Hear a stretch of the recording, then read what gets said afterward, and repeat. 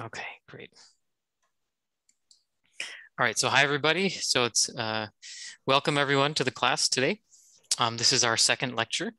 And today we're going to be talking a lot about um, the motivations and trends in uh, solid state electronics and semiconductors in general. Um, as I mentioned before, the reason for this lecture is not so I can test you on it afterwards. The reason for this lecture is to get you motivated uh, for this class and see what all the interesting areas are in the semiconductor world right now, kind of in the research world and in industry. And even more importantly, that you can see just how important semiconductors are to um, you know, our everyday life. So uh, I would say, although this lecture is not one that's being tested on, it's probably one of the most important lectures um, in terms of what you gain as uh, in this class uh, for your future careers um, working in the areas of semiconductors, whether you're working directly with them or not. So we'll get started right away. Um, what I want to begin with today is uh, um, we did have a, a small homework assignment. So I'd like to start by talking about that. Uh, let me just pull this, um, pull up this slide here.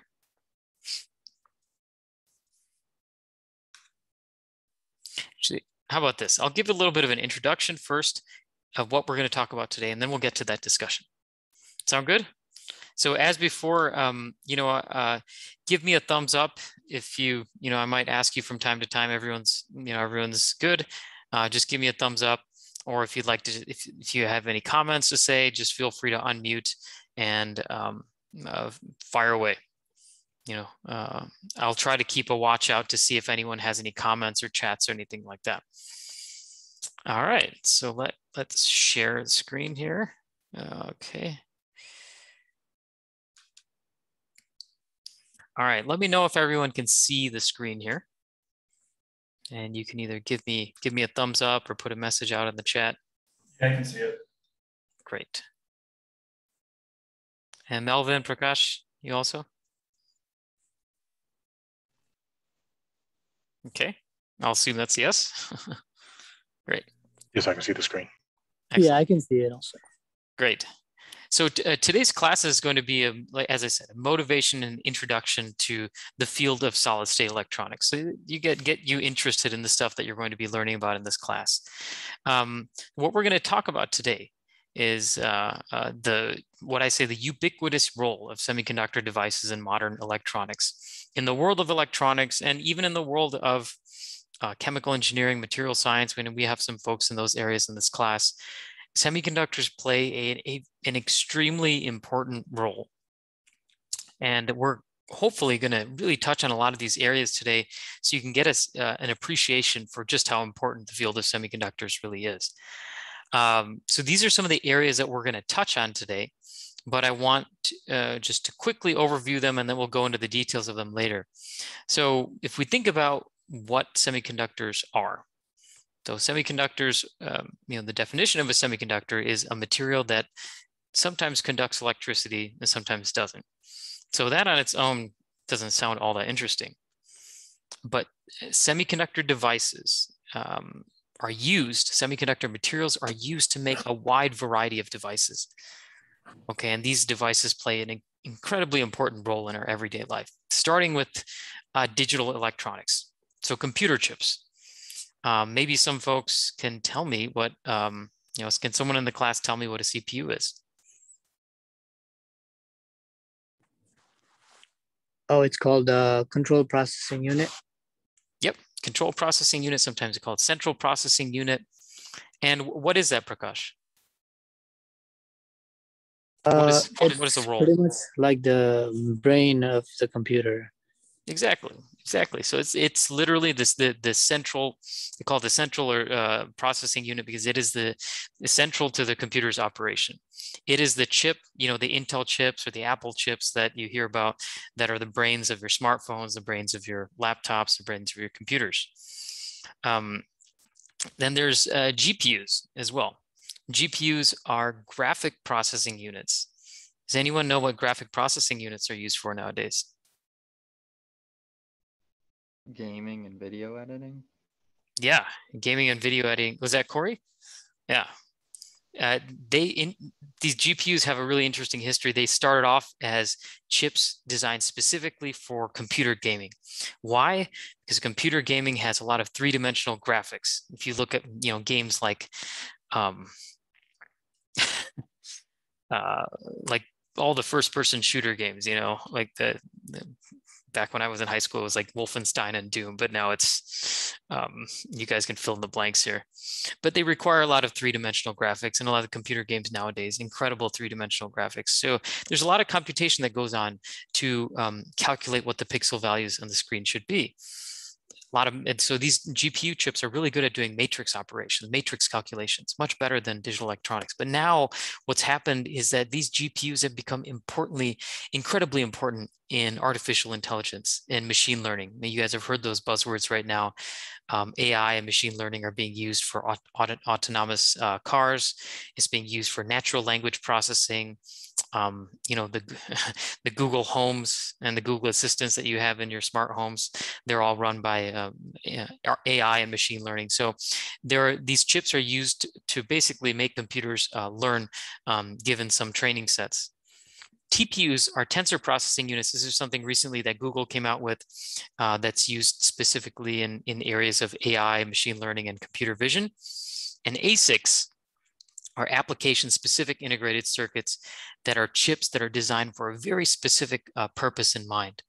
Um, you know, uh, there are a lot of um, chips specifically designed for mining, for example. If, if some of you have heard of the cryptocurrency industry, Bitcoin and Ethereum, uh, a lot of these industries uh, utilize a technique called mining. And in order for someone to uh, um, basically earn new Bitcoins, one of the ways that you can do it, you can either buy a Bitcoin, spend a lot of money on it, or you can create bit. Um, you can be given Bitcoins if you do what's called mining, and mining requires a lot of intensive uh, computations. And um, one of the issues with that right now with cryptos is that these these computations require an incredible amount of power, electricity. And so that's if you do it with a, a CPU or a GPU. If you start using application-specific ICs, ASICs, uh, the power consumption of that uh, drops down quite a bit. Um, so then uh, um, basically your return on investment becomes better because uh, the amount of crypto that you're earning in, response to, in comparison to the amount of electricity bills that you're paying, um, that balance becomes a little bit better so that's just one example of ap application specific ICs. All right, digital electronics is a huge area. Um, analog electronics, we rely on, I'm gonna kind of go faster here just so you have a more of an overview rather than getting into the weeds of all of it. So analog electronics, um, semiconductors play an important role in amplifiers, uh, wireless radios, analog to digital converters. Uh, with regards to data storage and memory. So you know all the data storage for storing photos and videos and things like that that we have on our phones on our laptops um, are powered by semiconductors nowadays uh, solid state drives what are also called ssds they uh, they were originally you know, originally the data storage elements used to be magnetic disks. Now they're all made using semiconductors. ROM and RAM, uh, the types of memory that are in your smartphones and laptops, semiconductor devices. Memristors and resistive RAM, these are the new types of memory that many believe are going to revolutionize the field of uh, machine learning and uh, artificial intelligence, also made with, with new types of semiconductor devices. Now, sensors. Semiconductors play an huge role in sensors um, your digital cameras are all uh, semiconductor devices. They're made from silicon. Um, your iPhone cameras, your Android cameras, what have you, they're all um, uh, they're all made from semiconductor materials. Photodiodes. Photodiodes are light sensors that are used in fiber optic communications. Uh, photodiodes are also used in something as simple as the night light that you plug into your bedroom wall. You know, the, the photodiode detects whether it's light or dark in the room and it turns on the light accordingly. Um, photodiodes are used in your cell phones to determine whether the cell phone is in your pocket or not. Uh, then there's electrochemical sensors that use uh, semiconductor devices, radiation sensors, and um, uh, new types of radiation sensors that use semiconductors to detect uh, nuclear radiation. Uh, these are going to be become very important in nuclear power. It's going to become very important in space type applications. power, you got photovoltaics. Since we're on the topic of space, that's a passion of mine. Photovoltaics are used in a lot of spacecraft because you need to be able to generate power out in space. So you'll notice that the Mars rover has photovoltaics on it. The, the Mars helicopter that recently um, demonstrated its 13th flight on Mars. If you haven't seen that, look up YouTube videos on that. Amazing stuff. Uh, out here on Earth, photovoltaics are have been incredibly important for as a renewable energy source. So uh, solar cells uh, that are placed on the rooftops of homes and businesses uh, solid state batteries is a new type of batteries that's coming out that use semiconductors. A lot of power electronics that go into, um, you know, battery technologies, um, uh, uh, automotive type things, and power walls like the Tesla Powerwall. Those types of things are power electronic devices that require semiconductors. In the lighting area, this, the lights that power our homes are semiconductors. Light emitting diodes and lasers are the two very popular types of light sources that use semiconductors. Now, LEDs are not just your light bulbs. LEDs also include uh, the the backlights on your TVs and your Kindles and your smartphones. You know, the, the light sources from those are all LEDs. And so then we get into display technologies. Semiconductors are used um, not only as a backlights, but for uh, any type of computer screen requires uh, a type of semiconductor called a thin film transistor, a TFT for short. Um, and there's all um, alternative technologies like AMOLEDs and things like that that are used in display technologies. So TVs, phones, tablets, smartphones, LCD projectors, all use semiconductors. So I think I've hopefully I've convinced you here that that uh, uh, our everyday life would be quite different if semiconductors if we didn't have semiconductors. Um, so in terms of what this class can how it can be meaningful is that understanding these devices, understanding the fundamental principles of semiconductors is what will allow you to then um, understand these devices better. And that understanding might just be for your own personal interest. It could be because you're working as an engineer to develop some of these technologies or utilizing some of these technologies. So uh, um, all of these things, the basic underlying language that you need to understand these devices is uh, an understanding of semiconductor physics. And that's what this class is mainly about. All right, so any questions here?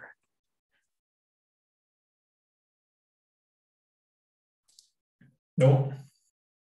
All right, all right. So let's go back here and go back to our homework assignment. So that was a little preview of what we're going to talk about today. But before we begin, I think, I think we'd, we'd start with uh, uh, talking about the homework, some discussion points. So the assignment was to watch uh, some of these uh, videos, the first two, and um, these next two were optional, but they were all on the same topic. Um, this global computer chips shortage, the global semiconductor shortage. And this is uh, recent event that I believe highlighted the importance of semiconductors in our everyday life. So I've written down some bullet points as um, you know as a starting point for some of the discussion, uh, but we can go off on other topics as well. So I would like to, um, you know, one way we can do this is just to have volunteers. Um, if people are shy, then I might have to just be the uh, be the bad guy and call on people. but uh, uh, you know, it would be best if everyone can sort of contribute on their own. Uh, so this global semiconductor shortage was it's pretty crazy. Um, for those of you who might work in the automotive area, in the Detroit area especially, but let's talk about it. So some of the points that were covered in these videos. Uh, first question is like, where are semiconductors used? I think we covered that in the last slide, but um, maybe some points related to the global chip shortage. If there's anything on the other slides that you'd like to highlight, let's start off with that. So anyone in the class, um, Janan, Melvin, Corey, Clayton, Prakash. Yeah, I, I think I can um, start with, uh, I think one of the big things was partly, I guess, the pandemic um, and everyone needing more electronics at home. Yeah. Um, and, and that kind of thing, um, along with mm -hmm. some supply chain issues. So. Yeah. So what, when we talk about pe- things, uh, people requiring more uh, uh electronics at home, people yeah. are spending more time at home. I guess you know, I I had the experience myself. I was like, well, you know, as long as I'm home, I'm. I think I'm going to buy an extra computer monitor. You know, mm-hmm. I think I'll buy. Uh, I think I'll buy a smart clock. You know, to help me wake up at night or maybe mm-hmm. like a, a, smart doorbell since since i'm going to be working from home a lot or or camera to monitor my house you know things like that. So that was one thing. I mean that's that's just a a cultural trend that's happening right now is that we are just just putting so much more electronics in our house. I think another thing um, if i remember correctly from the video was that um, there's a lag so to speak, in the industry, whereas mm-hmm. um, the the the the automotive the automakers um, since the, the, the pandemic happened, um, there wasn't as many people um, buying cars, I don't think, and they kind of didn't didn't um, I guess request or put order orders in. And I believe the the largest one, uh, TSMC here, um, they didn't put as many orders in, um, and now right now we're facing that lag to where they are um, kind of demanding more, but there's a lag in terms of how much they can produce because they've already scaled back their operations. Absolutely. Absolutely. Yeah. So thanks, Melvin. I mean, you, you gave a great answer to this the second question of what contributed to the 2021 shortage. There's, I mean, the, the automotive industry is one of those industries. Um, I was speaking to a family friend about this, uh, who works in the industry, by the way, uh, and she was telling me that um, you know, in the automotive industry, they're very careful to maintain small inventory. You know, they don't stock up on parts. You know, have have huge stockpiles of parts, and um, and maintain those stockpiles. They try to minimize that because that's ultimately what what saves money when you're doing supply chain um, optimization. So, uh, as Melvin pointed out, like at the beginning of the pandemic, when people were buying cars less, um, the automotive uh, companies just cut their orders. Um, they cut their orders, and so the manufacturers manufacturers decided to slow down their manufacturing. Now, here's the thing about semiconductor manufacturing: it's a behemoth. It's a massive. It's got a lot of inertia. Let's put it that way. If you shut down a semiconductor fab, and you tell it, and, uh, the the fab like scales down operations, you can't just tell it on a dime to start ramping up manufacturing and by tomorrow you'll have ramped up manufacturing it takes it takes time for it to uh, scale up so when the orders uh, started um, getting cut down uh, semiconductor manufacturers started cutting down on their production and then now uh, we're at a point where they they uh, um, they need to ramp up again and they, they are doing that there's some other uh, factors that contributed as well. Um, like one of the major semiconductor manufacturers in Japan had a big fire at their plant. There was COVID, so there was issues with uh, people coming to being able to come to work. Um, one other thing that contributed, which is uh, kind of like a um, more of a political issue, is that there's a, uh, a semiconductor manufacturer in China, and that manufacturer um, the US put sanctions on that manufacturer. So that manufacturer was not able to acquire the parts that they needed in order to fabricate their chips. So everybody in the world started going to the other major manufacturer, the bigger one. Uh, and, and, and so like they couldn't handle all the demand. So there's geopolitical issues as well. So these semiconductors that we're talking about, they are used in your smart homes, they are used in your smartphones, they're used in automotive that was one of the big areas, right? Automotive is becoming a huge market for semiconductors. When you th- start thinking about autonomous vehicles, you start thinking about um, like infotainment, like everything is has like Bluetooth radios, um, you know, like the engine control units, uh, the power control units, like the charging ICs and things like that. There are more um, electronic components in cars now than there ever were. And the one point that I'd like to share with you is that in our department, you know, we had folks from Ford uh, as part of our industrial advisory board, and they said that back in the 1950s and 60s, Ford hired exclusively um, mechanical engineers. Now in 2020, they said by now they're going to be hiring more than 95% electrical engineers. So it's something to think about. Now, that's not to say those of you who aren't electrical engineer in, the, in this class would have um, uh, it would be impossible to find a job with Ford. That's not what this saying. Actually, what he meant was, is that um, they will be looking for people who have skills in electronics related areas. So for example, like if you're a chemical engineer, um, one of the most important areas is battery development, battery technologies for uh, electric vehicles. So, so it includes um, all aspects of engineering that uh, that are used in in some form of the electrical aspect of cars, whether it's electric vehicle drive, infotainment, um, communication, wireless, things like that. And of course, autonomous driving. All right, so let's move on here. Um, the, vi uh, the videos talk about what is the difference between a fabless company and a foundry. I actually had a question. Yeah, sure. Go ahead. Um, so I guess considering, um, let's say Apple um, being, I believe, a, a fabless company, who works through the foundry of TSMC. Mm-hmm. Um, now we know that uh, TSMC are uh, they're building this um, gigafactory, I think they're calling it, or just a large factory in um, Arizona. Mm-hmm. Um, does that have anything to do with, I guess, the geopolitical issues um, in China between China and Taiwan, and them wanting to move a lot of their production away? And does and I guess maybe you know more of like a discussion point how would mm-hmm. that kind of tie into kind of like the the current push by the the Biden administration to have um, more of a um, um, I guess homegrown type of um, um, IC solution, whereas right now they were looking towards Intel, and I'm mm-hmm. not sure if there's another company. Was it um, Global Foundries? Which I believe was an American company, but it was bought out by a company in Saudi Arabia, if I'm not mistaken. Ah, yeah, yeah, yeah, yeah. Their their um, global foundries, like the the fab, I believe, is in, located in Singapore now. Ah, ah, okay, okay, okay. Interesting, interesting.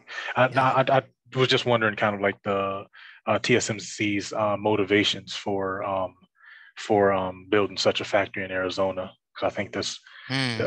primarily before they were building the vast majority of their chips because they're the number one, you know, foundry. They were building their chips in um, Taiwan. Mm-hmm. But now they're just having like one of their largest factories now in Arizona. Yep. Yeah, that's, I mean, so Melvin, I thank you for your comment here. You touched on a lot of really important points.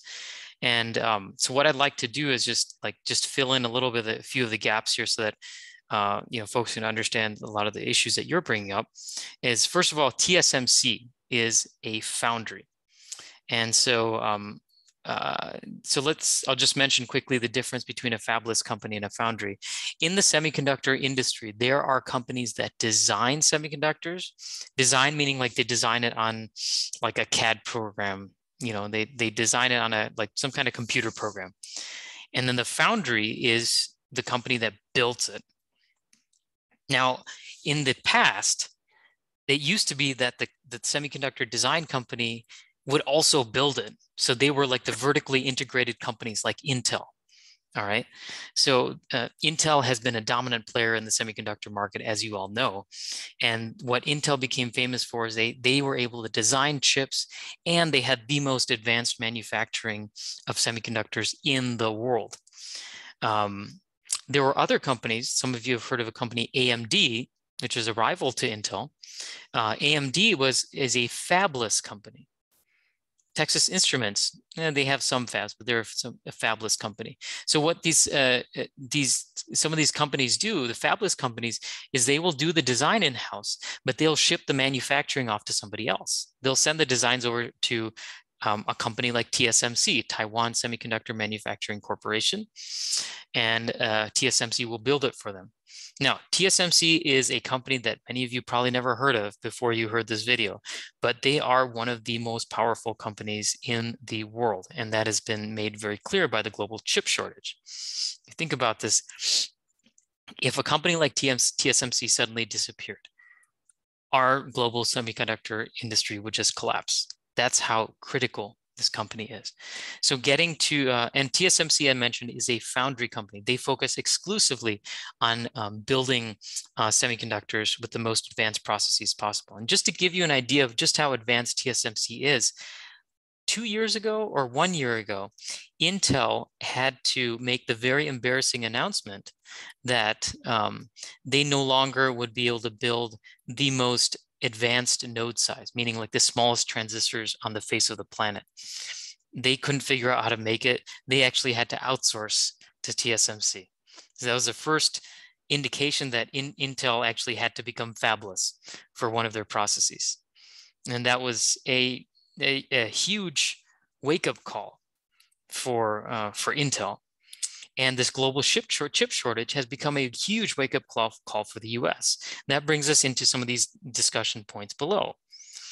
Where are the vast majority of semiconductor chips made? Um, can someone tell me that? I think we've already mentioned TSMC. TSMC happens to be the largest foundry in the world and the most advanced. Where are other, uh, where are some of the other major semiconductor manufacturers located? Wasn't there one in South Korea? South Korea, that's right. South Korea is Samsung. So Samsung's specialty is making memory chips and, and the chips that go into smartphones as well.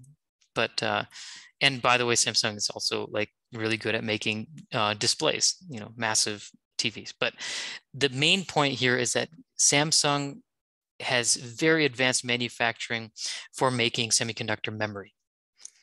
So, you know, our one terabyte solid state drives or the four gigabytes of uh, memory that you have in your iPhone. Those memory things, a lot of them are made by Samsung. So South Korea, we got. We also got Taiwan. Taiwan, by the way, is an uh, is an island, small island off the coast of uh, China. And what I'm going to do, just for fun, is I'm going to pull up a Google map.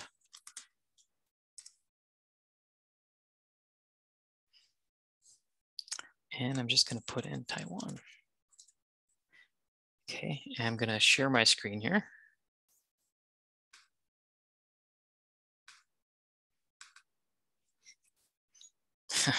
just for fun, let's put in TSMC.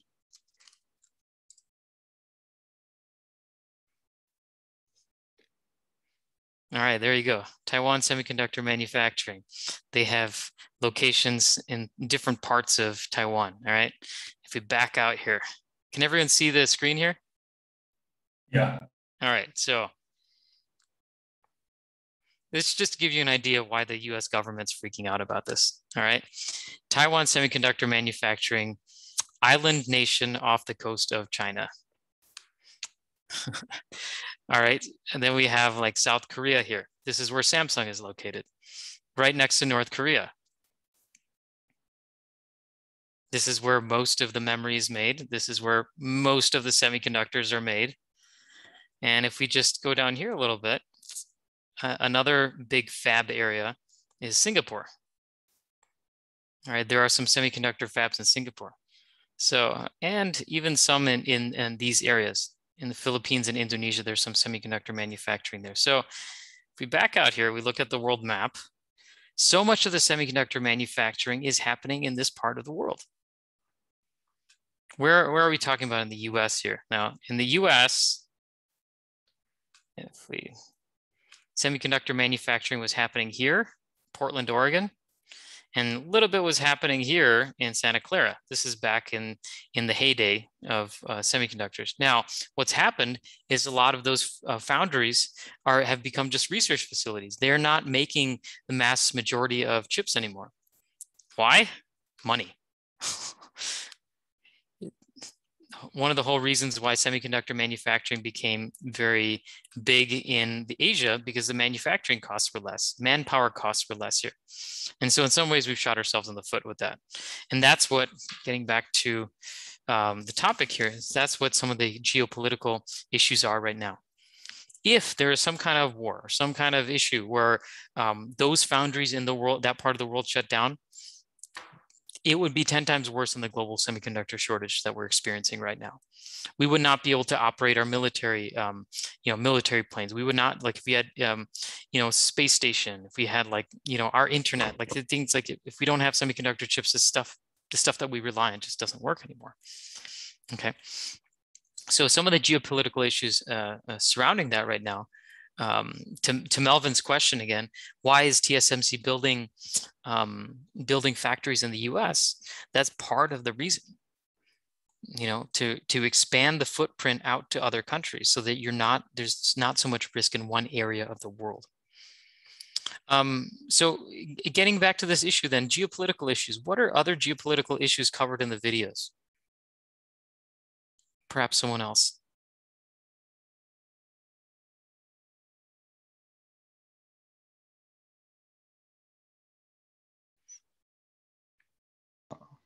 Uh, I think this was, uh, I guess, a little uh, uh, different topic, but um, the stockpiling of some of the chips, didn't that happen? Mm-hmm. Yeah, that was, um, I believe that was happening in, in China. February. Yeah. Yeah. Some of the stockpiling of, of chips was was happening, and the reason China was stockpiling chips was because there was a, a sanctions that were going into effect with China. So there's a large uh, telecom company called Huawei um, there's a large chip manufacturing in China called SMIC, and the U.S. Uh, basically sanctioned those companies, uh, saying that you know that they were stealing technology, and so they're they're not going to provide a lot of the American technology that those chips need, that, that those chip makers need to design some of their ICs. So those companies got hurt by that, and so China then decides that they're going to be, they're going to focus on independence. They want to have an independent semiconductor manufacturing chain meaning like they have their all, all their home home built technology, not relying on the US. And so um, if they were to do that, um, then yeah, that's part of China's ambitions. They, they, they would become very powerful.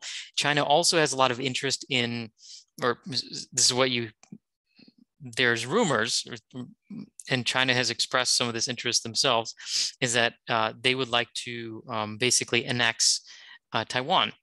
And if if China then owns Taiwan, then you can imagine what the political issues are there.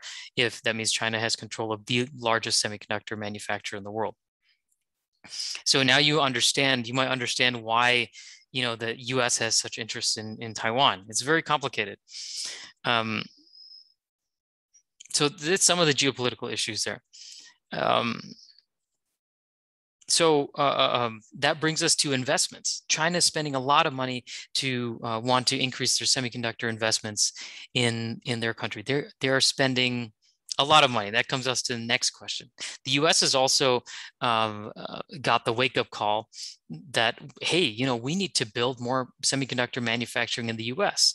And that gets to Melvin's question the US is also interested in having these companies come to the US, and that's probably what led to more of these semiconductor plants being built in Arizona. So this is just a trivia question if you remember from the videos. Um, does anyone remember what China's planned investment dollars, the, the amount they plan to invest versus the US? I think you'll find this pretty comical.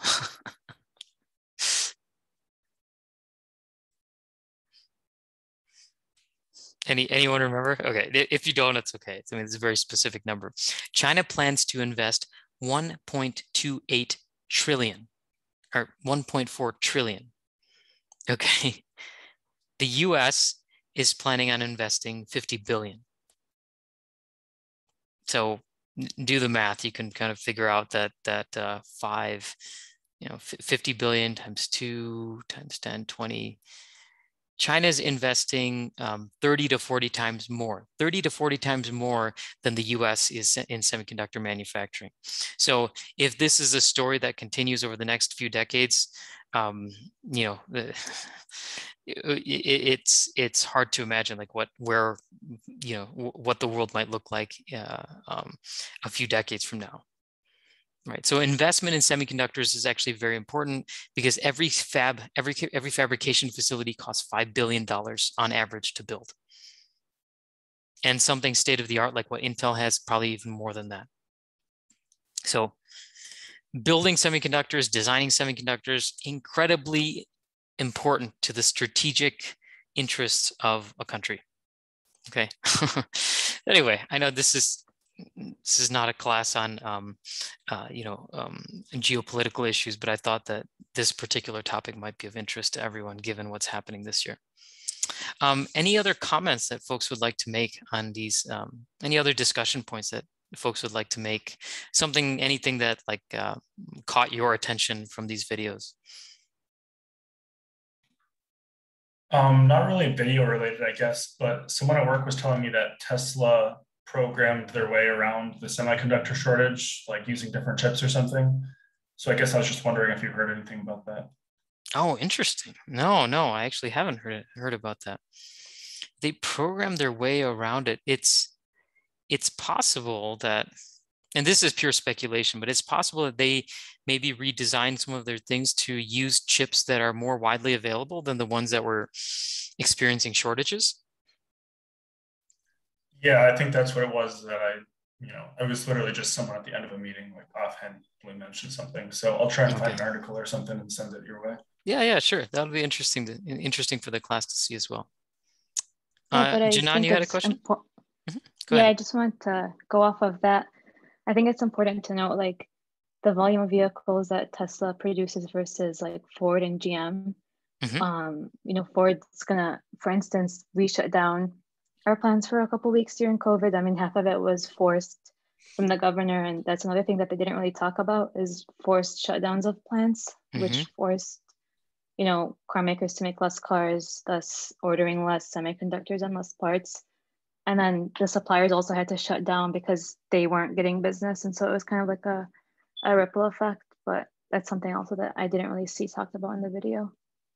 A really good point. Really good point. Um, thank you for mentioning that, Janan, because uh, that's something I obviously didn't mention either. The point I mentioned was that like uh, chip, the car companies decided to um, uh, order less because they knew they predicted um, less sales. They were getting less uh, sales, but you pointed out that um, that there was forced closures of the factories as well.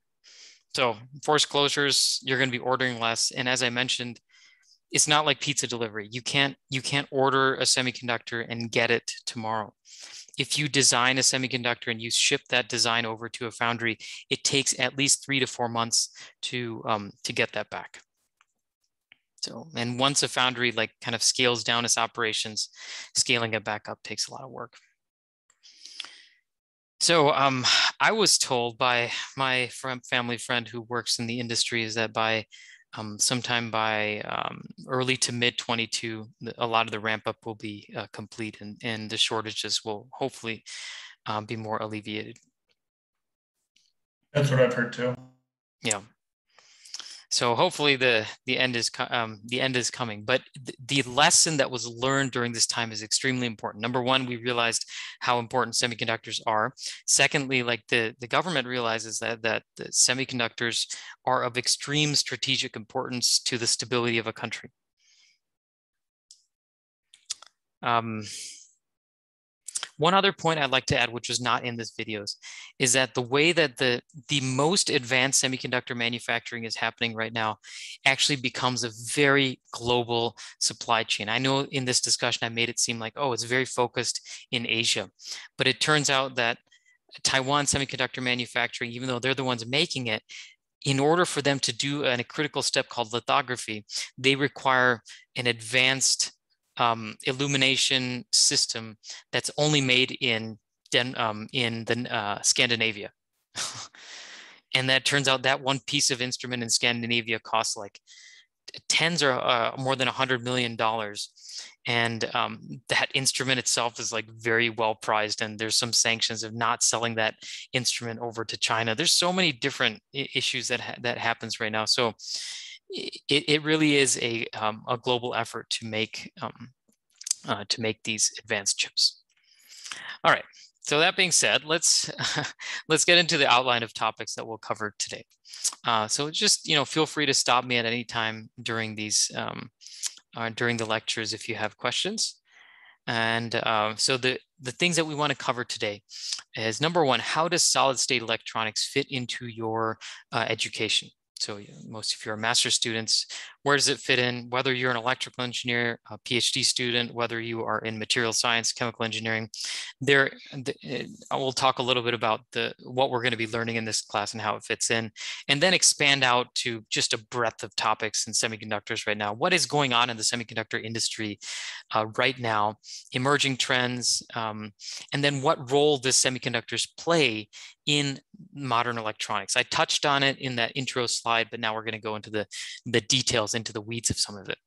And so I'm going to go kind of fast. Um, this, the reason is because I it, otherwise this could end up taking two or three lectures, and I don't want to fall too behind. Uh, you know, we always end up rushing at the end of the semester, so I'd rather keep a better pace at the beginning.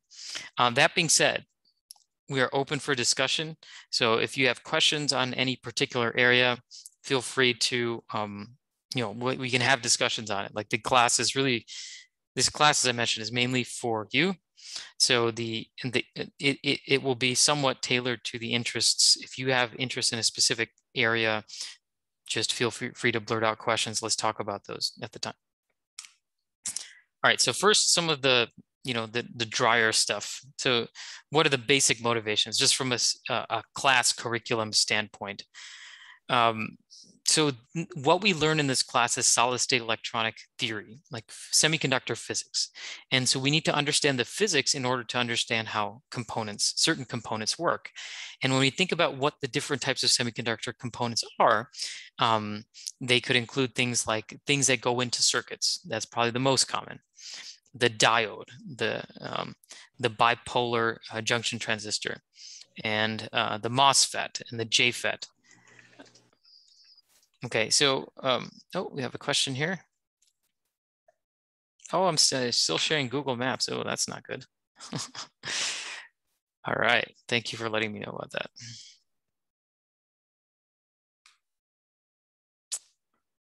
All right. I'll just share the screen. Okay, how's that? Everyone should be able to see the screen now. All right. So these are the different uh, types of devices. You know, you have the di the diodes, the BJTs, the MOSFETs, and the JFETs. Um, uh, th these are uh, the digital, you know, the analog and digital circuit components. Uh, I'll mention this, that the MOSFET is by far the, the most common semiconductor device that basically runs, uh, runs our world, I guess you could say. Uh, next is optoelectronic components. These are really important for sensors and also important for fiber optic uh, communications. Things like lasers, um, LEDs, photodiodes, and solar cells. These are all optoelectronic components. It also plays a very important role in um, like autonomous vehicles, um, uh, uh, renewable energy, and so on. Then there's all these future devices that you can imagine. Like engineers are coming up with all sorts of crazy, interesting devices. Um, you know, starting from sensors, different types of semiconductors for uh, sensing um, chemicals, um, for semiconductors for sensing radiation, you know, all sorts of interesting devices. And regardless of what device is, there's a common language that underlies all of these semiconductor devices. So what, what we try to focus on is, is to teach you the underlying language in um, the underlying language in this class so that you can understand new devices. Now in this class, we are only going to cover diodes and MOSFETs really. I mean, that, that's going to be the majority. We may touch on photodiodes, we'll touch on uh, BJTs, a little bit on solar cells, we'll talk a little bit about LEDs, but the majority of the class is going to be just on these two components. But we're going to spend a lot of time learning the underlying um, uh, foundation so that you can understand all these other devices as well.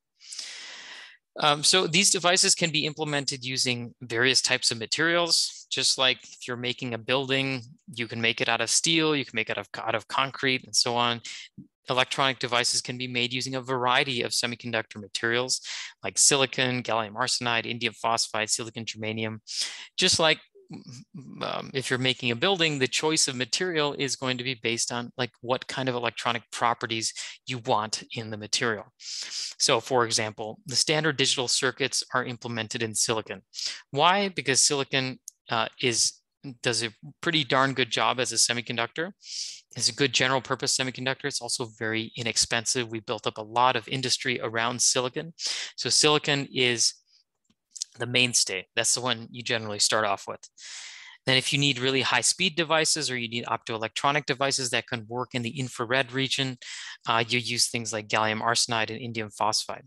A lot of the um, high speed uh, wireless communication devices for things like 5G um, might be you know done in gallium arsenide, indium phosphide, space communication devices, high-speed microprocessors. Still, a lot of it's done in silicon, to be honest, but there are um, high-performance microprocessors that are implemented in silicon germanium. if you want to build sensors that are that operate in really harsh environments, um, like the interior of an engine, for example, or in a spacecraft in a in the um, you know a, a, fuselage of an aircraft or something like that, then you need uh, semiconductors that can withstand high temperatures and could work at high temperatures. So things like silicon carbide and diamond become interesting in those um, situations. By the way, uh, diamond is a semiconductor. Um, we think of it as jewelry, but it is actually a um, single crystal carbon, and it has been used as a wide band, band gap semiconductor. Finally, like there's radiation detectors use materials like cadmium zinc uh, telluride. Uh, these are uh, really newer newer devices that are going to, you know, I, I think are going to revolutionize um, nuclear detection in the future. So, you know, different materials, different devices, now, in terms of um, if you decide you're going to go into circuit design, um, it's worth it to mention this might be useful for those of you who go to work at a company like Intel. Um, now, I mentioned Intel earlier in this lecture that Intel is a one of the, a vertically integrated semiconductor company, meaning um, they design the chips and they fabricate the chips both. Okay, so what would happen in a company like that? You have the engineers, with the digital logic engineers who are creating uh, computer chip designs using things like this at the system and a block level. Does anyone know what component this is? Just for trivia. It's Not okay. Inverter. It's an inverter, that's right. So this is an inverter gate. So if you look at this inverter gate and see, well, how do we actually build the inverter gate? You can peel back the onion one layer and then look at the transistor level. This is how you implement an inverter. By the way, an inverter is a simple electronic device that inverts the, um, the, the signal. So if you have a high voltage signal coming in, high voltage meaning like five volts. So we're not we're not talking about hundreds of volts. A high voltage would be considered five volts and a low voltage would be considered zero volts. So an inverter is something that takes, if, if you put five volts in, you get zero volts out. If you put zero volts in, you get five volts out. So it switches uh, the signal. Okay. So the digital designer says that this is how it works. I'm just going to put this on my design. Um, now, a circuit designer would take this and say, well, how do we actually build the inverter? And the way that you can build it is by using two transistors. MOSFETs. I mentioned MOSFETs on the previous slide. There's a, a P MOSFET and an N MOSFET. Um, and the way that uh, an inverter is made is that you have uh, these devices have a gate, source, and drain. We'll talk about that ad nauseum uh, once we get to the MOSFET chapter. Don't worry about the details right now. But it basically consists of two MOSFET devices designed in this kind of configuration. So this is what's called a transistor level design. Now in this class, what we do is that we focus on um, we focus on the physical level. So once you have this device, the next question you ask is, well, how do you actually build a PMOS device? How do you build an NMOS device?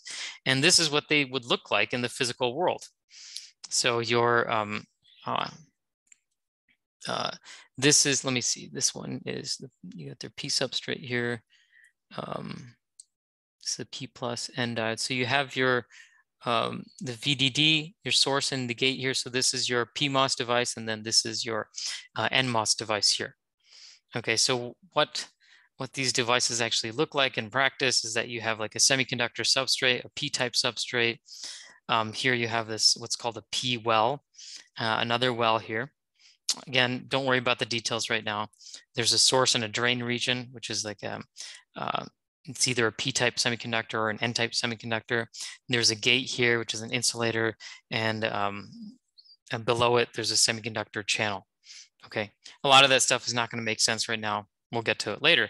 But the point is we try to understand the physics of the actual device, how electrons flow through this device, how something like this is made so that you understand the basics, the, the fundamentals of how these devices work.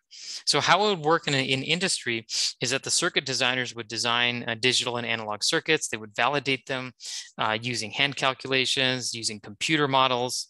And so that design would then be used to fabricate um, fabricated device uh, the process engineers help out with the fabrication. They develop the manufacturing process. uh, they create something called design rules for how to size the transistors. And once a chip comes out of the lab, they, they would characterize um, they would characterize the semiconductor uh, properties and uh, device parameters. And then these material parameters and device parameters are fed back to the circuit designers that are um, to refine the computer models that they use to do their circuit design. So I think the, the topics that we cover in this class is mainly for uh, you know, some aspects of process engineering. And it, it, would help you become a better circuit designer too, because if you know how something works, how it's built, then you can be a better designer, even if you're working at this level or this level in, in the hierarchy. Um, can everyone still see my screen? I just got a message saying you are not sharing your screen right now. I can see it. Okay. I'm Able to see your screen. Yeah, I can see it. Great, great. All right, so this class is about the physical level here. So moving on. We talked about the role of semiconductors. So right now we're gonna kind of um, go into some of the details here. So semiconductors play a really important role in digital electronics, analog electronics, data storage and memory devices, sensors, power, lighting and displays, and more. We're going to talk about the application of semiconductors in some of these areas.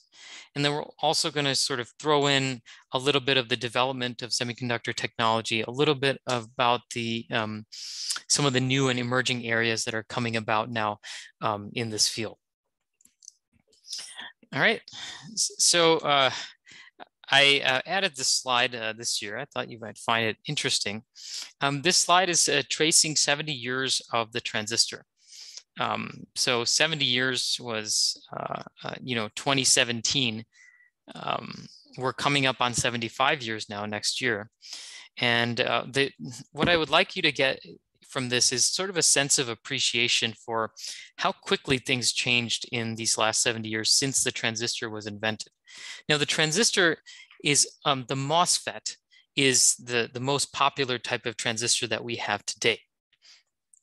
And um, every computer chip that we, you typical computer chip in your laptop has more than 10 billion transistors, which is more, the, more than the number of humans on the, on the planet. Okay, so um, it, we it is by far one of the most fabricated device that mankind has ever made. So if we just look back, it's amazing that this device was only invented 70 years ago. Um, the the modern semiconductor industry, you could think about, is it, it was it was born in December 1947, just two days before Christmas uh, and 1947 you imagine is just um, you know just a few years after world war ii ended. And since then we have experienced such a dramatic growth of technology and you could argue, argue that no other industry has had as profound an impact on human civilization as the uh, semiconductor industry has. So you know if we just kind of like zoom back here um, you'll see a guy. This is uh, William Shockley. This guy here, I'm not sure who that is. It look, kind of looks like uh, Joe Biden. uh, well, actually, here, here's the name. Like, you know, William Shockley is the one that's uh, sitting down. He won the Nobel Prize later. He shared the Nobel Prize. He's with John Bardeen and Walter Brattain. Um, so this team um, invented the first transistor at Bell Labs in New Jersey. Um, that was 1947. Uh, Raytheon commercialized some of that stuff the next year. Um, I'm going to skip over some of these things, uh, some of the highlights I'll just give you here. Some of you may have heard of something called the transistor radio. Before, if if you look back and old radios, they were massive, right? They were huge. Uh, the transistor radio was was a big um, a big advance because it allowed you to have a radio that fit into your pocket, basically. And we look at this today and we kind of laugh, like a whole radio takes up the size of a cell phone. But this was a huge advance back in the day. Um, people then figured out how can you make calculators out of transistors in, in the 1950s and this you can see that this is a fairly large device made of transistors. It's like probably the size of a washing machine. Um, 1956 these shockley was awarded the nobel prize for the invention of the transistor. By 19 late 1950s annual transistor uh, shipments 29 million. This is also quite funny. Um, because you know the typical number of transistors per device per electronic device was typically like 1 to 10 transistors per device okay? Nowadays you have 10 billion transistors on a single chip. So it's just the, the, the scale has just gone crazy as you could you could imagine. All right so so going on like you know starting in the 1950s and 60s this is when the semiconductor revolution really began a company called fairchild started making um, uh, commercial transistors and then um, texas instruments uh, came out with the first integrated circuit this is where you take a bunch of transistors as I mentioned here, you take a bunch of transistors, you make logic gates out of them. And from logic gates, you make more complex things like calculators. And they can all be done on the same chip. This was the magic of semiconductors. Okay. So Texas Instruments started to you know, play with that concept. And so an integrated circuit is something that has many transistors all on the same die, on the same little area. So this concept exploded in the 1960s. All right, so um, in the 1960s, Intel was begun was started by uh, Gordon Moore, someone who worked with Shockley in the past, and um, decided that him and some other folks from Fairchild decided that CMOS, a certain type of semiconductor um, uh, format made from silicon, would be the dominant way going forward. He was made a pretty darn good prediction. Um, he said that like we're coming up with the manufacturing technology, we're going to put a lot of transistors on a chip to do a lot of calculations, and we're we're going to predict that um, our, our manufacturing technology is going to improve over decades. And so that we double the number of transistors on a chip every 18 months or every two, he predicted every year, but it became 18 months later. I have a slide on that. I'll talk about that later. But that was the beginning of the microprocessor revolution. 1980s, we saw the first 16-bit um, microprocessors, 134,000 transistors. Um, you know, I mentioned now we're at uh, um, more than 10 billion transistors per chip. Starting in the 2000s, um, GPUs came about that employed billions of transistors for initially for gaming and then for scientific computation, now for AI and machine learning. And by the 2010s, we all have smartphones in our pockets, more than 2 billion transistors in a typical uh, smartphone. So these were some of the technologies and some of the things that happened corresponding to that was basically enabled by these technologies. The World Wide Web, you needed to have fast processors. Um, so the, the World Wide Web would not happen, internet would not happen if we didn't have um, these fast computer chips. Um, wireless communication, all the Wi-Fi chips that we currently have, Bluetooth chips that we currently have, they are all made of semiconductors. So the whole wireless revolution uh, came about, the smartphone market came about due to transistors. Um, and by the 2020s, it's predicted that the um, microprocessor and, and, GPUs will have as many transistors as there are neurons in a human brain. So just think about that trend. It's pretty, pretty crazy. Um, this slide talks a little bit more about that, just so you can appreciate the computing revolution. This is this revolution was enabled by semiconductors. Right, so you know, I think pretty much everyone will will make the argument that make the argument that semiconductors are what enabled the computing revolution that you're seeing here. All right. Um, again, I like to have like sort of just this appreciation of things from like a human standpoint. You know, we had the agricultural revolution, right? Agricultural revolution lasted like 8,000 years. And then we went on to the industrial revolution. 100, within 120 years, we're able to have like these big factories and trains and things like that. Invention of the light bulb. 90 years after the invention of the light bulb, we landed on the moon. 22 years after that was the World Wide Web. Nine years after that, the human genome was sequenced. Somewhere in here, just before the moon landing is when semiconductors were invented. So you can kind of see like how the acceleration of human progress has just gone crazy since the invention of the uh, semiconductors. So if we go into some of the details of that, you can appreciate that a little bit more. Um, when we talk about computation, this slide is actually focused on the computing revolution. So when we talk about computation, we like to talk about like how many calculations can we do per second and how much power does it take up? How big is the computer? You know, like things that we're all kind of familiar with nowadays. Um, and if so, what we're looking at here on this chart is like time on the x-axis and computational power on the y-axis. Okay, and this keep in mind, this is in a log scale log scale. And um, so this is talking about the, the number of, um, you know, the, the, basically a measure of um, how much, uh, how many transistors that you would have um, on a computer chip, which leads to how much comp computational power that you have. So back here, um, before they had uh, semiconductors, okay, they used to build transistors, and I'm saying quote unquote transistors. These were devices that had properties similar to transistors, but they were made using a completely different technology. Okay, back in the day, like uh, calculators um, were made out of electromechanical devices.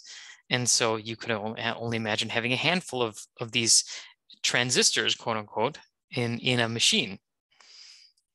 So um, if you if you look at um, you know some of these devices, the IBM tabulator back in the 1920s, uh, starting in the 1940s, um, there was a lot of work with more complex computers that could help break the codes. You know, the Colossus was an electronic computer that helped the British crack the German world uh, codes during World War II.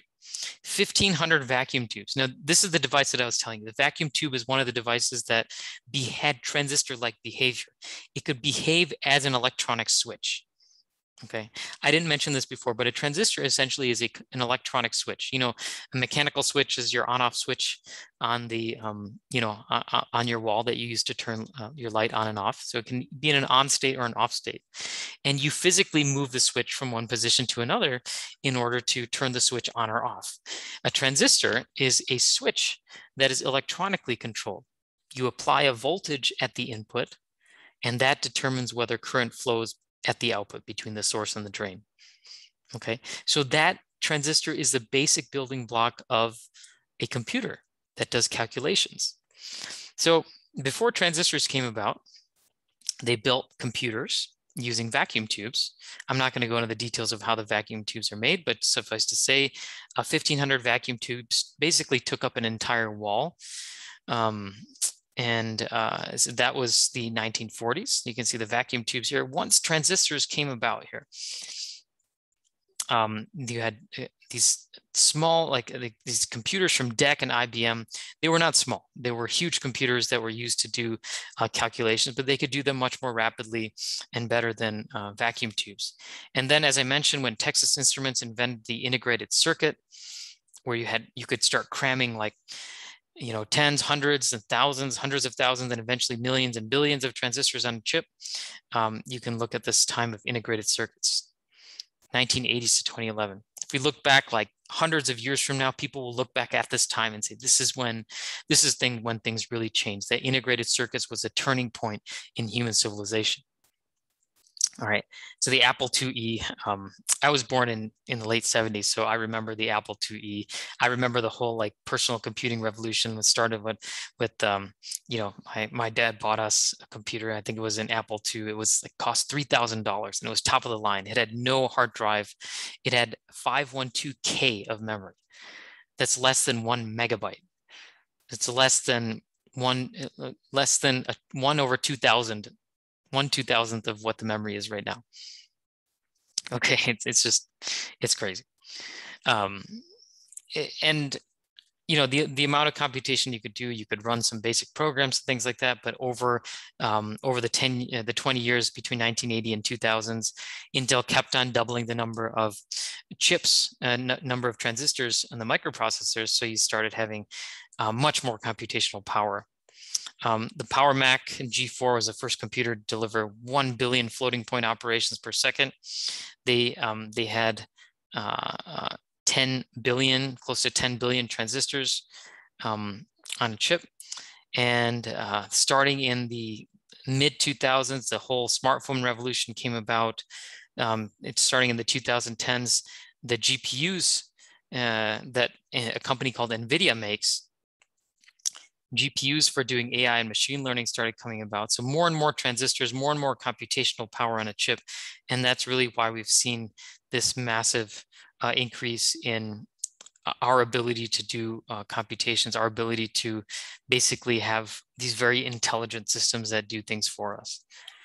And it is expected, if you're extrapolating here, some of you have read news stories about how Elon Musk like predicts that um, that robots will take over the world. Some of you have seen that dystopian movie, dystopian future of uh, Terminator 2, where how many have any of you seen Terminator 2? I have to ask. put your hand yeah. up. okay. You remember Skynet has Skynet once, you know, it's a computer system that one day decides that it's smarter than humans. It doesn't need humans anymore. So then it just takes over the world. so if you haven't seen Terminator 2, it's it's a, it's a good movie. Um, Arnold Schwarzenegger's in it, you know. Um, in any case, so it it it kind of talks about this. You know, at some point, the level of intelligence that that, uh, that these computers have at the pace that we're going right now, um, it, it's expected that by the 2020s, um, that some of these chips are going, going to ex, um, uh, um, surpass human brain power. Uh, and then by 2040s, it's going to surpass the brain power of all humans combined. So just imagine like what will be possible. Um, you know, whether you want to be excited about it or fearful of it, that's up to you. Uh, Moore's law, this is focusing more on these like 1980s to 2011, but this is a, a great slide to show you the advancement of uh, computations as a result of our ability to, to manufacture semiconductors. One of the things that people don't always emphasize is that Moore's law is really about manufacturing than it is about computational power. So background here is Gordon Moore predicted predicted that um, that from the 19 late 1960s for the next several decades, he predicted that Intel, his company, would be able to double the number of transistors on a computer chip every year, every year. Now that didn't actually end up happening. What ended up happening is Intel ended up doubling the number of transistors on a chip about every 18 months, so about 1.5 years. But if you, this is an incredible prediction for someone to make in the 1960s and have that trend continue over three decades. So this is a testament to not only to Intel's success, uh, but also the prediction that he made.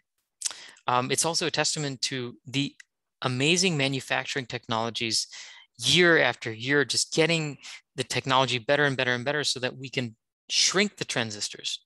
Okay, when Gordon Moore predicted we'll be able to put twice as many um, transistors on a chip every year, he was basically saying that we're going to make the transistors smaller and smaller and smaller. It turns out that if you make transistors smaller, not only can you cram more transistors on a chip and get more computational power, you can also reduce the power consumption and you can make the transistors go faster. So there's all these benefits to making the transistors smaller and smaller. So basically Intel's focus for several decades was how can we make transistors smaller every every year right and so if you look at the miniaturization trend this is a um, the 1971, the 4004 microprocessor, one of the first ones that Intel came out with, 2300 transistors and the speed, the clock speed, uh, just to give you a sense, right now we're at gigahertz levels. I'll get into that. But the clock speed is how, how quickly the transistors can switch from an on state to an off state. They were switching at 108 kilohertz, 108,000 times per second back in 1971. Um, these transistors were 10 microns large. And just to give you a sense, this is amazing. Even, even in the scope of today, you think about how big 10 microns is. If you take one of your typical human hairs, does anyone know how, how, how big a human hair is? The diameter of a hair? 50 microns. Yeah, that's right. That's right. Thanks, Corey. It's 50 to 100 microns is the typical diameter of the human hair. So if you take your hair and like look at one fifth of the diameter, that's how big the transistors were even in the 1970s. Incredible, just incredible. Um, eh, back in the 1970s, they had 640 bytes of RAM, which is a very minuscule amount of RAM, but they, they had working computer chips back in the 1970s. Um, you know, I'll give you another example here. By the time we're at uh, 2016, you know, several decades later, later, where are we at? 2,300 transistors before, 7.2 billion transistors now. And guess how big they are? They went from 10 micron feature size to 14 nanometer feature size. So a micrometer is one millionth of a meter. So 10 to the negative six. A nanometer is 10 to the negative nine. So it's essentially dropped down by a factor of 1,000. We have made transistors 1,000 times smaller over the last several decades. And how did Intel do this? They just kept on miniaturizing every generation. And they did that for several decades. So, and as you can see, the mini, as the transistors became smaller, they were able to pack more and more transistors on a chip. Pentiums in the 90s were getting 3.1 million, Pentiums 4 up to hundreds of millions. The Core 2 Duos as sort of came out like um, in the late 2000s. The first dual core processors, 400 million, and now the Core i5s and beyond, like they're well into close to 10 billion right now. And if you look at the NVIDIA GTX 1080, um, I don't think I have this transistor count might be wrong. I think it exceeds 10 billion transistors, um, and they are like around 16 nanometer uh, feature size. So the transistors have become immensely smaller. Um, and so, as I mentioned before, what happens when the transistors become smaller? Your computational power goes up, but also you can operate them faster. So that now we're at 3.6 gigahertz clock speeds versus 108 kilohertz again, kilohertz is 10, um, 108 kilohertz um, is about 0.1 megahertz. So it's 0.1 times 10 to the sixth. Okay, so 100, let me put it another way. 100 kilohertz is 10 to the fifth. Now we're at 3.6 gigahertz, which is 10 to the ninth. All right, so our clock speeds have gone up by four orders of magnitude. It's just crazy. It's amazing. And all that benefit has come from just making the transistors smaller and smaller with each successive generation. 640 bytes of RAM, which is, you know, like not even enough to store like a small text file. Now we're at eight gigabytes of memory, which is, which is enough to, you know, store like, you know, thousands of images, right? So obviously our computational powers have just gone through the roof over the last several decades. Uh, Corey, you had a question. Go ahead. Yeah, this might be a dumb question, but um, there are no dumb questions. So, no dumb so, questions oh, in this class. so, um, does the production of these semiconductors lead to, I guess, better manufacturing capabilities of future semiconductors at all? Oh, that's interesting. Yeah, yeah. You know, that's a that's a, a, a point that Elon Musk has been really focusing on with Tesla. Um, if you, mm-hmm. so I, I just to put like something like something concrete on here, like semiconductor technology is used in factories like a lot. If you look at all the robotics that are in factories right now, you know, complex. If you've mm-hmm. seen a video of Tesla's manufacturing facilities or, or like Ford's, GM's, like some of their facilities, everything's like robotically controlled. It's amazing. Mm-hmm. To control those robots, you need to have semiconductors. You need to have high power semiconductors um, to, to control them. Now, there's a lot of AI and machine learning to make these robots even smarter. That requires semiconductors. So the more computational power we have, yes, our ability to manufacture manufacture things is going to improve as well. So in the videos that that that was assigned as homeworks, you probably got a glimpse of the semiconductor manufacturing facilities at TSMC, at SMIC, at Global Foundries, you know, all these big manufacturers. And you'll see that there's a lot of like robotically controlled tools there. There's um, a lot of AI and smart stuff, smart um, processes that, that are done there. So the more advanced our chips become, yeah, definitely the, the, the, the more advanced the manufacturing will become as, as well. Um, if I can give one more um, specific example, when we start making things very small, uh, and when we start packing like 40 billion transistors on a chip, detecting defects becomes very, very important, as you can imagine. If you need like billions of transistors working together, you know, to do a calculation, and one of them flubs, obviously there's they have some redundancies there, but but being able to detect defects is very important, and a lot of um, very uh, um, uh, high-powered computational tools are being used um, to uh, detect uh, to do defect detection. That's just one example. And I mentioned the robots as well. Okay, um, another slide here. This slide is on the, um, the FinFET. Um, now, big picture here is that once we got to about here in Moore, um, what, what was called Moore's Law, they Intel spent many, many decades making transistors smaller and smaller and smaller. So at some point, at some point, the size of your transistor, when you're down to 10 nanometer feature sizes, or even 100 nanometer feature sizes, you're, you're approaching atomic scale, where the transistor is literally just a few atoms thick. Imagine that. Right, that's where we're at with our manufacturing technology right now, where the sizes of transistors are on the atomic scale. So um, I'm just going to skip ahead one slide here. I'll come back to this slide in a second. This is what's called the planar FET, okay, the MOSFET. All right, this is a three-dimensional rendering of this slide that I showed you here. This is what one MOSFET looks like. This is another MOSFET over here.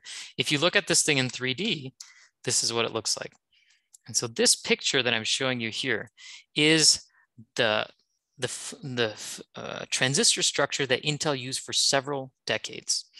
Okay, this was the go-to design, the basic design you start off with.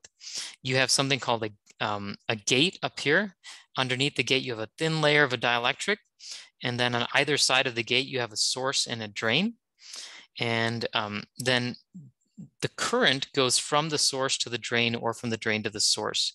And depending on what voltage you apply to the gate, you can basically allow current flow between the source and the drain, or you can cut it off. All right. So that is how a FET operates. Don't worry if you don't understand it right now. We're going to be covering a whole chapter on that. What I want you to get from this is that this is what the basic design looked like. It was a planar, essentially a planar design. When we got to 2011, they realized that this design was not good enough once you started miniaturizing the um, the transistor down to um, atomic level, atomic scales. And the problem that emerged is that, you know how I mentioned that controlling the gate voltage, you can control the current between the source and the drain? Um, well, it turns out you can't do it as well when the transistor starts to get very small um, in this two-dimensional geometry. So that's where the FinFET came about. So if you look at the differences in the design here, you'll see that the gate, the yellow thing here, the gate is just at the top of the channel between the source and drain. But here you can see that the gate goes all, it covers three sides of the channel. So the channel now is this rectangle, looks like a fin, goes through here, and the, the gate region go, covers three sides here. All right, that three-dimensional design was an incredibly important advance that Intel implemented in 2011. It was invented quite a bit before that um, by uh, Professor Hu, Chenming Hu at UC Berkeley. Um, just to give you a sense for where some of these technologies come from, um, he was an academic at UC Berkeley. Um, you know, people had theoretically conceived the FinFET. They, you know, people had thought about for years that, hey, you know what, if we put the gate on three sides instead of one, then the transistor performance will probably be better. He figured out how to actually build it. He got a DARPA grant. DARPA is Defense Advanced Research Projects Agency, one of our government defense agencies that funds a lot of like high risk, high impact research. Um, he developed it over four years. Eventually, Intel commercialized it. This was such a big advance. Um, Hu was awarded the IEEE Medal of Honor 2020. In our notes, you can click on the articles to find out more about that. But basically, this was Intel's um, uh, FinFET design. They call it the Tri-Gate transistor. Um, this allowed Intel to continue Moore's Law from 2011 into the 2020s. So they allow, they were able to continue miniaturizing the transistor without some of the, the bad effects of miniaturization by switching to this uh, FinFET design. Okay, we don't have time to go into all the details of it. There's a lot of technology development that goes into it. Billions of dollars poured into uh, developing this new uh, type of transistor.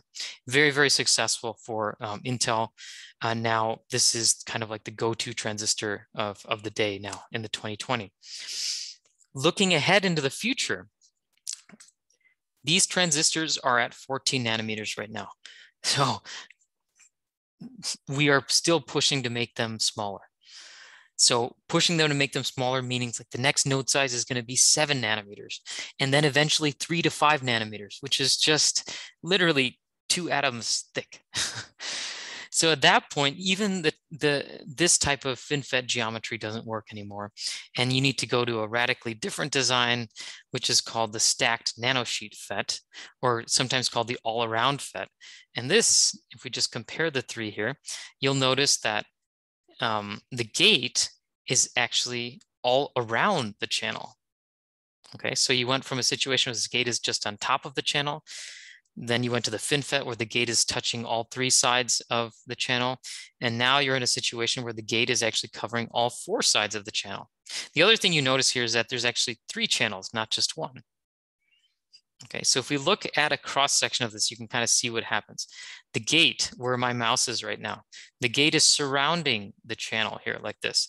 The channel is, is going through here, uh, the middle here. Part, uh, there's a channel here, there's a channel here, there's a channel here.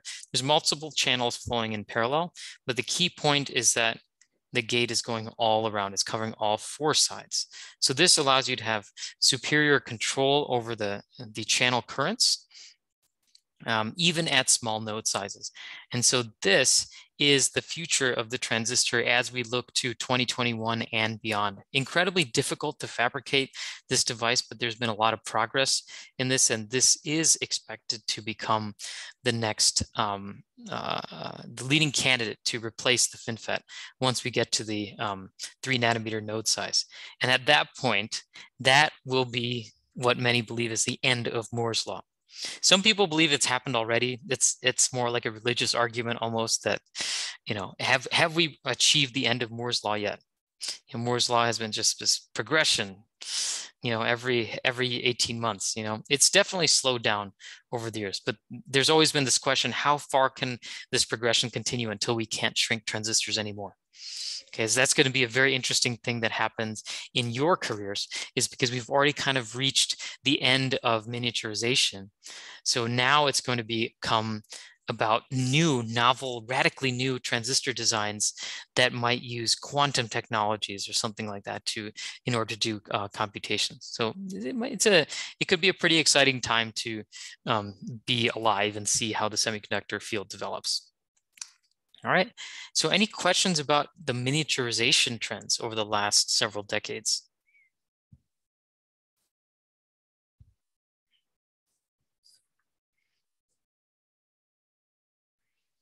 All right.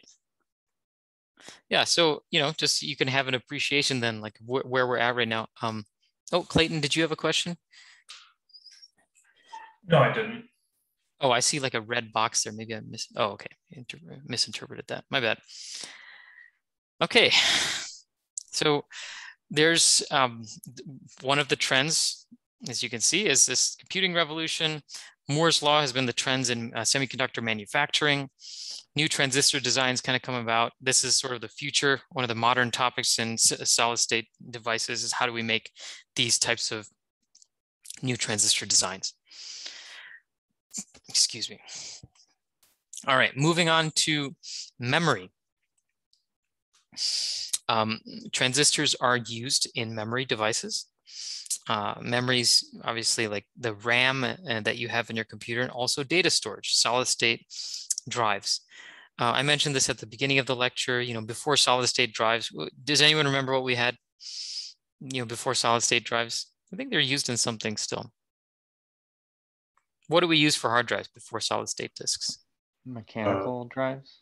Yeah, or mechanic, I'm sorry, magnetic disk or something like that.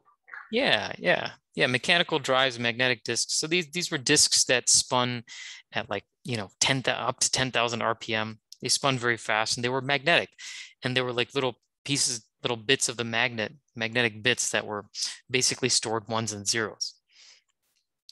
The problem with uh, those types of drives is that re they required moving parts. So if you dropped a, a laptop, um, there's a good chance that your magnetic disk would just get screwed. And um, also was reliability. You know, like over time, these things can wear out. So a magnetic disk would have a certain lifetime. the last thing is that manufacturing um, these discs could be like expensive to manufacture the more moving parts you have, like building a spindle and something that spins and, um, you know, having it something to read it, it, it it's a complicated device design. So um, what happened was that semiconductors basically replaced all those. Um, I, am not going to go into it, but there's something called, um, there's a, a, a, a, series of logic gates that you can design to store a to create a memory storage element, um, volatile memory or non-volatile memory non-volatile memory means that um, that even when you turn the power off, it still remembers what you put in there, which is what you need for solid state disks. So um, what's happened in this industry is that um, this is an industry that really requires many, many transistors, right? It, in the computation industry, it was all about how can we do faster computation, right? In this industry, more transistors means more data storage. Okay, so there, there was, you could argue there was even a bigger pressure on you know uh, companies developing um, semiconductor data storage to pack more and more transistors on a chip. So um, what, what happens in New York City like when you run out of space? New York City's on a Manhattan's on an island, right? So what happens when you run out of space on the island? Where do you, you build, build up or you build more space? You build up. That's right. And that's what that was the solution that came about in the semiconductor field. Is that like, you know, if you look at all these types of transistor designs, they were all essentially um, pl planar or 2D, meaning like 2D in the sense that I, I don't want to confuse anyone. The, the, the, the FinFET is considered a three-dimensional transistor design. This is also considered three dimensions because there's three-dimensional features here. But like the, the thinking over several decades was that you have one layer of transistors, one layer, okay? And so when you run out of real estate and you need more density, you start building up. So companies like Samsung figured out how to do three-dimensional memory. And so this is where you have multiple layers of transistors stacked on top of each other. Okay. And so that can greatly increase the size of your memory. And so if you guys may, may remember when you were very young, um, solid state disks were pretty expensive. And, um, you know, typically you'd get into the megabytes and gigabytes uh, for solid state disks. Now we're at hundreds of gigabytes and terabytes. So it's kind of like gone up by like tenfold.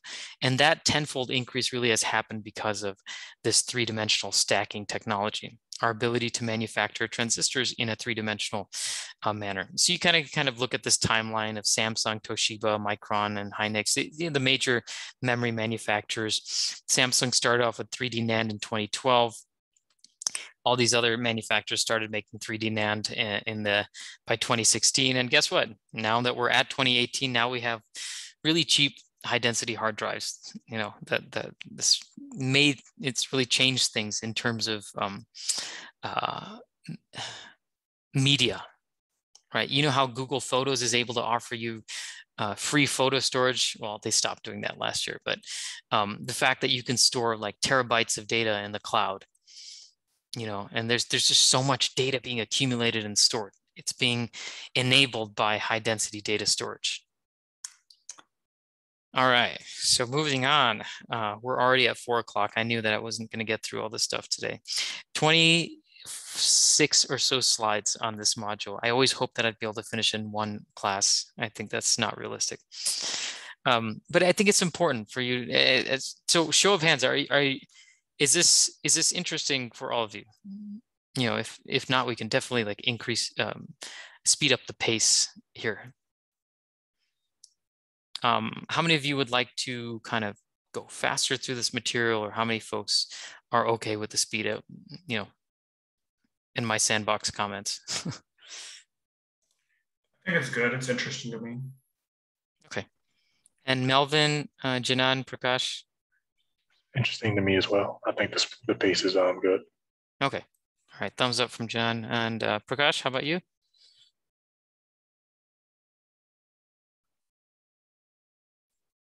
Okay. Um, well, just you know, feel free to uh, chime in if you'd like, Prakash, at any point.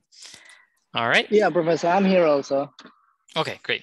Yeah. So, um, pace okay for you? I like it. Okay. Okay, fine. Thank you. Uh, so, um, so I want to touch a little bit about like different trends happening in digital computers right now. I've been talking a lot about packing more and more transistors on a chip, right? But there's actually been uh, things have gone in the other direction too. Uh, we've also gone in the direction of fewer transistors on a chip, but just making the die sizes really, really small. Okay, if you if you have small transistors that are in the nanometer regime and you only need like 10,000 to 100,000 transistors, guess what? You can make your chip size incredibly small. Um, I'm if you look at my video right now, well, you you know what the size of a typical C CPU is. You know, it's it's about the size of your thumbnail. Okay, about the size of a thumbnail is the typical chip size that goes into your smartphone or laptop. Um, you can see here, this is something called the Michigan Micromote designed at the University of Michigan, Ann Arbor. And this is the side of um, a coin. Right? You can see this is incredibly small, like this is maybe, maybe a millimeter wide in size. So you might ask, well, what's, what's the use of this? These are sensing devices. So I mentioned semiconductors can be used for various types of sensors. They can also be used for computation. They can also be used for wireless communication. So the beautiful thing is you can make integrated devices that have all these different functionalities, sensing, computation, and communication into a single tiny chip device. Okay. Um, uh, there was a professor at UC Berkeley called Kris Pister who who uh, famously said this is smart dust. These things are as small as dark dust particles, but they're smart. They can do a lot of, you know, a lot of uh, things. And the idea would be that that we would be able to have sensors everywhere. You know, air quality sensors, light sensors, like and, and have like all these interconnected um, sensing elements that that we use to monitor um, you know, to monitor infrastructure like bridges or monitor security in our homes or monitor health, air quality and things like that, right? So this field has become uh, what's called IoT, Internet of Things. Not all IoT devices are this tiny, by the way. The IoT field is just this general idea of like having sensors and smart devices everywhere like smart refrigerators, smart toasters, like you know, Mm, things like that. But um, th this is one direction that research is going right now, making extremely tiny chips that can be used for sensing. Um, and another big application of this would be for um, biomedical implants. If you can make these chips so tiny that you can swallow them, there's a company that makes a camera. Some of you may have heard of this called PillCam. It's it, it's a semiconductor device that has cameras and and wireless communication built into it. You swallow this camera, and the camera like takes pictures and videos as it's going through your GI tract, and and it's uh, you could say it's revolutionized the field of um, gastroenterology. Pretty interesting uh, some of the benefits of making your chip sizes very small. So on one side, you have these very, very tiny chips with fewer transistors on them. Then in the mid-range here, you have the personal computing regime where you have like nowadays, um, you know, a few billions of transistors in a chip that's about the size of a thumbnail or two thumbnails. And then on the other side, you have the very large chips. The, these chips could be several centimeters in size and so since they're larger and they have more transistors, they're obviously more expensive. Two, 2.1 billion MOSFETs in a typical Intel Skylake i7 processor for personal computing for lap eh, laptops.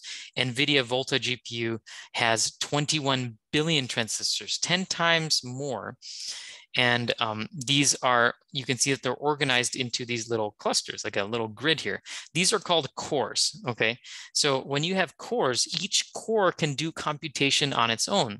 So in this particular chip, 5,000 cores means you can do 5,000 computations simultaneously. And that's where GPUs differ from CPUs. If you're gonna build a chip with lots of cores, you need tons of transistors on them. All right, looks like I got another question. Okay. So uh, one direction things are going is to build very larger chips with many, many transistors on them. These are obviously more expensive, as I mentioned. These are used for artificial intelligence and high performance computing, scientific computation, simulations of black holes, for example, um, AI. So Google and Facebook, you know, when they're trying to, you know, um, store all your pictures and learn how to facial recognize you. That's um, when Tesla is trying to build self self-driving cars that recognize stop signs and and a dog walking across the road and things like that. that that's all um, happening on these GPUs. Um, if you go even beyond that, this, uh, this is something you probably may, may, not have heard of. Many of you have heard of NVIDIA, but some, I doubt many of you have heard of uh, Cerebras. But this could be the future trend. Yeah, on this end of the scale is um, uh, what Cerebras is doing. They are building a chip, one chip that has 1.2 trillion transistors on it. So think about that. It's it's 50 times more transistors than even the GPU. All right. So because this has so many transistors on it, like it's just a pretty large size. Now, um, this GPU chip that you see here, if you want to see a size comparison, this is what a GPU looks like with 21 billion transistors. This would be a typical NVIDIA GPU. And this is how big the Cerebras, what they call a wafer scale um, compute engine is. They call the WSE, wafer scale engine, 1.2 trillion transistors. Now, can anyone tell me why would you need this much computational power? I, I didn't know off the top of my head. So if you don't, that's fine. But I, I just, I'm curious what, what people's guesses might be. I guess the first thing I would think of would be um, some large uh, neural networks, uh, possibly some form of um, matrix uh, multiplication dot products. Mm-hmm. Yeah, yeah, that's uh, they do mention one of those things. They they do mention um, scientific computation as one of the uh, applications. Absolutely right about that. How about application wise?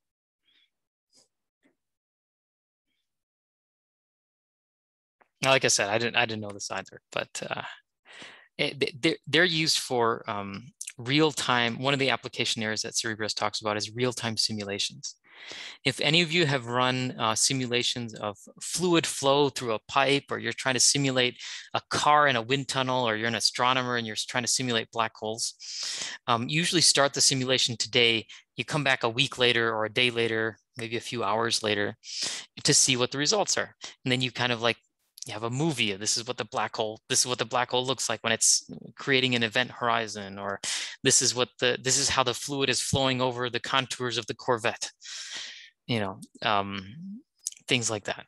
Um, but this type of uh, engine could do the simulation in real time. So you start the simulation now, and it could be simulating things as they are actually happening, as they as at the same time scales that they might happen in in real space. So it, if stuff like this becomes very popular, it could really um, it could revolutionize the field of uh, real time simulations. Um, and as Melvin uh, pointed out, um, it's just a monster. It can it's just a monster version of what a GPU can do. So in terms of AI, machine learning, all that stuff, uh, scientific computation. So those are the two directions that uh, uh, digital computers are going nowadays. All right, where are we at? Okay, so we are at 410. And I think I will just touch on this one slide and then we'll uh, end for today. Um, this is just an extra slide that I found on uh, wafer scale um, computing. Um, so uh, just to just to go into a little bit more detail, these things, these chips are optimized for deep learning. Um, specifically, they say training via gradient descent methods. Gradient descent methods is a, is a thing that requires a lot of matrix computation, as Melvin nicely pointed out.